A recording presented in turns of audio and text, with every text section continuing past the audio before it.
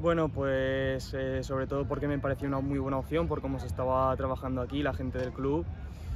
y también pues por la proximidad a casa con la familia y tal y se me surgió la oportunidad y creo que era la mejor opción. Pues bueno, sobre todo eh, mucha energía, eh, una muy buena actitud y aprovechar mis cualidades para sumar lo, lo más que pueda para el equipo. Eh, bueno, de momento es pronto, pero sí que es verdad que se ve un grupo muy sano, como dije el otro día, y ya me iré cogiendo, de momento me han acogido bastante bien.